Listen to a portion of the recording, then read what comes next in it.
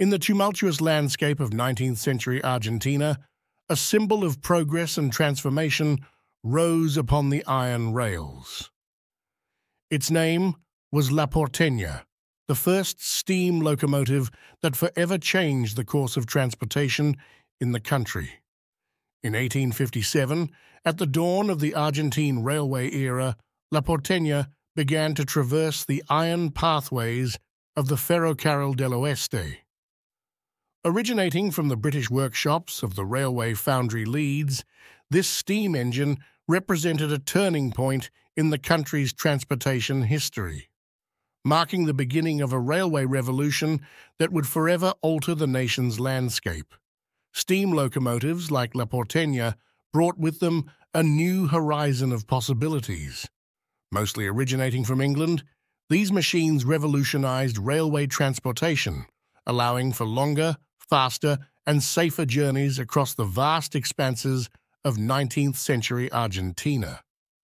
With their design of a single cylinder, flywheel, and gear transmission, these locomotives paved the way for a future of connectivity and progress. On August 29, 1857, La Porteña wrote the first chapter of its legacy, making the inaugural train journey in Argentina.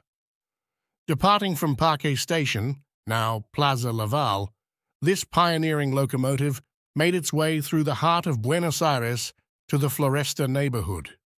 With a maximum speed of 20 kilometers per hour, which is approximately 12.43 miles per hour, La Porteña carried with it the dream of a prosperous and promising railway future.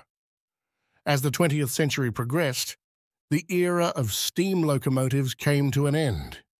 Diesel and electric machines gradually began to replace their predecessors, offering greater efficiency and requiring less maintenance.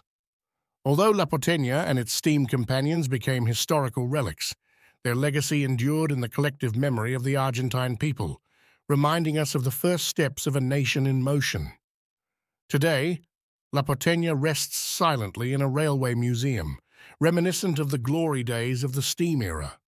Its imposing presence serves as a witness to a glorious past and as an inspiration for future generations, reminding us that even as times change, the pioneering spirit of La Porteña remains alive in the heart of Argentina.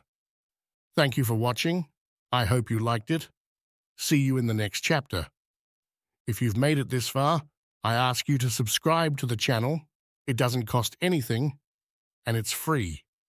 See you in the next chapter.